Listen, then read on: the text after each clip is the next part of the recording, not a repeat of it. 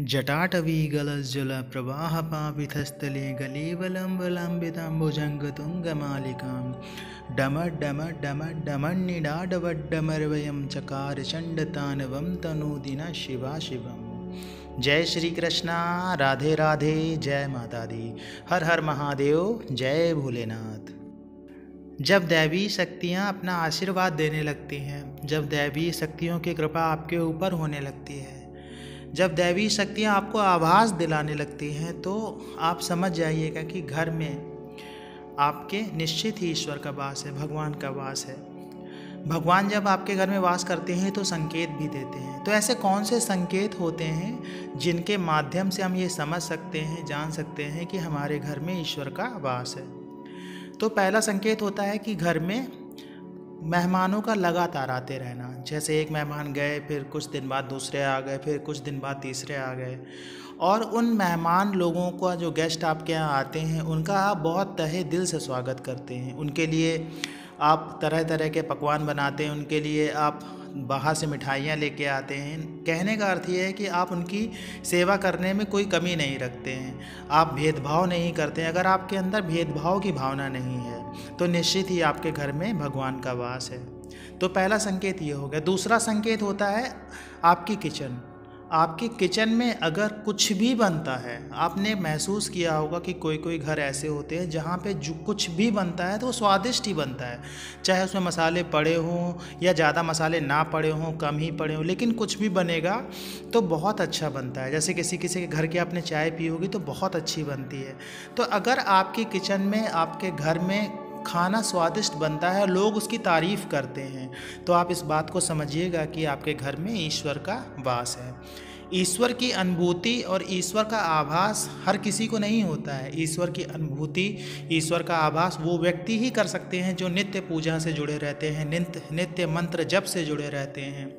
उन्हें भगवान का आभास होने लगता है और उन्हें संकेत भी समझ आने लगते हैं।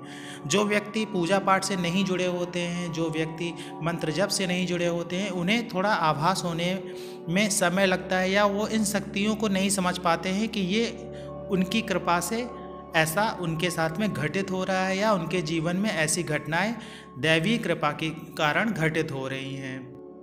इसी तरह से अगर आपके हृदय में दूसरे लोगों के प्रति अच्छा भाव रहता है, अच्छी भावनाएँ रहती हैं, आप लोगों के प्रति अच्छा सोचते हैं, किसी भी व्यक्ति को आप बड़ा नहीं समझते हैं, किसी व्यक्ति को आप छोटा नहीं समझते हैं, सभी को समान रूप से अगर आप उनके साथ में व्यवहार करते हैं, सभी के लिए अच्छा सोचने का कार्य करते हैं अच्छा करने का कार्य करते हैं करते हैं, आप लोगों की मदद करने का भाव अगर आपके अंदर है, अगर आप किसी को धोखा नहीं देते हैं, अपने काम में ईमानदारी बरतते हैं तो भी आप ये समझिएगा कि, कि आपके घर में ईश्वर का वास है। क्योंकि जहाँ पे भी ईश्वर रहते हैं जहाँ पे भी भगवान रहते हैं जहाँ पे भी वो दैवीय शक्तियाँ रहती हैं जिन्हें आप पूजते हैं वहाँ पे कभी कुछ गलत हो ही नहीं सकता। वहाँ पे किसी व्यक्ति के लिए कोई गलत सोच ही नहीं सकता है। क्योंकि जहाँ पे ईश्वर आ जाते हैं जहाँ भगवान आ जाते हैं वहाँ पे लोगों का दिमाग बदलने लगता है। उनके सोचने की जो क्षमता होती है वो इतनी ज़्यादा विकसित हो जाती है कि उन्हें समझ में आने लगता है कि हर इंसान के अंदर भगवान होता है। हर इंसान में भगवान होता है और सभी देवी देवता मौजूद होते हैं। अगर हम उनको बहुत ही भाव से या बहुत ही श्रद्धा पूर्वक उनको पूछते हैं तो वो मौजूद होते हैं वहाँ पे जहाँ हम उनको कुछ भी अर्पित करते हैं। चाहे वो आप भोग अर्पित करें, चाहे धूप, दीप, पुष्प कुछ भी अर्पित करें। तो वो अपनी उपस्थिति दिखाते हैं दर्शाते हैं आभास कराते हैं। और ये उनको ही आभास हो पाता है जो नित्य पूजा से जुड़े रहते हैं जिनके अं-, अंदर आध्यात्मिक बल धीरे धीरे करके बढ़ जाता है जिन जिनकी जीवात्मा में ऊर्जा आने लगती है।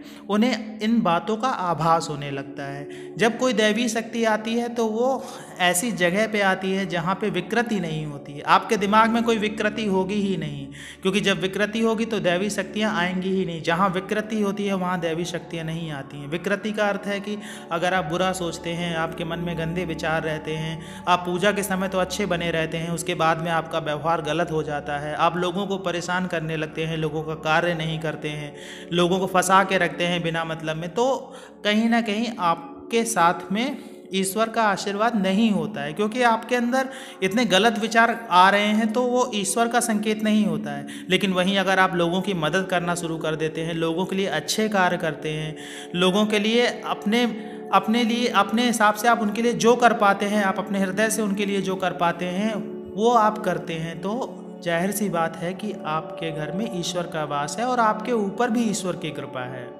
ये संकेत होते हैं जिनसे हमें अनुभव होता है कि हमारे घर में ईश्वर का वास है।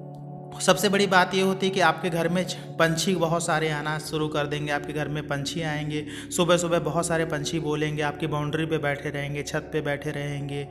ये भी एक संकेत होता है घर में सकारात्मकता होने का। और सबसे बड़ी बात यह है कि जब भी आप घर में रहेंगे तो आपको घर में कहीं बदबू नज़र नहीं आएगी। आपको चारों तरफ़ एक खुशबू जैसा माहौल मिलेगा, आपको एक अच्छी सुगंध घर में चारों तरफ़ मिलती रहेगी। जहाँ भी आप जाएँगे, ऐसा लगेगा कि कुछ महक रहा है, कुछ अच्छा अच्छी सी सुगंध आ रही है। तो ये भी एक संकेत होता है कि भगवान या देवी देवताओं का वास आपके घर में है। और उसके बाद में क्या होता है कि आपके जो घर के बिगड़े हुए कार्य हैं, वो बनना शुरू हो जाते हैं। आपके जीवन में रुकी हुई गाड़ी चलने लगती है, आपके जीवन में कुछ परेशानियाँ होती हैं, वो धीरे धीरे करके दूर होने लगती हैं। क्योंकि जहाँ दैवी शक्तियाँ आती हैं, वहाँ से परेशानियाँ दूर हटने लगती हैं, वहाँ से नकारात्मकता दूर हटने लगती है। सभी के विचार पवित्र हो जाते हैं, आपस में झगड़े नहीं होते हैं, जिस घर में आपस में झगड़े नहीं होते हैं आपस में सभी लोग प्रेम से बात करते हैं, सब एक दूसरे का ख्याल रखते हैं, सब एक दूसरे का ख्याल रखते हैं और दूसरों, दूसरे लोगों के लिए करने के लिए सोचते हैं कि हम इसे कैसे प्रसन्न कर दें। अगर आपके मन में इस प्रकार का विचार आता है कि आप ये सोचते हैं कि हम इसे कैसे प्रसन्न कर दें, इसे कैसे खुश कर दें, चाहे वो आपके परिवार का व्यक्ति हो, चाहे वो बाहर का व्यक्ति हो तो निश्चित ही आपके घर में ईश्वर का वास है, निश्चित ही आपके घर में भगवान का वास है भगवान कहते हैं ना, हर जगह है, लेकिन आभास उनको ही हो पाता है जो नित्य पूजा से जुड़े रहते हैं, नित्य मंत्र जप से जुड़े रहते हैं। और सबसे बड़ी बात यह है कि उनके कर्म पवित्र होते हैं, उनका मन पवित्र होता है। आशा है ये जानकारी आपको अच्छी लगी होगी। जानकारी अच्छी लगी हो तो वीडियो को लाइक करिएगा। कमेंट्स में जय माता दी, जय श्री कृष्णा, हर हर महादेव लिखिएगा। मिलते हैं आपसे नए, अगले वीडियो में नई जानकारी के साथ में। तब तक के लिए जय श्री कृष्णा।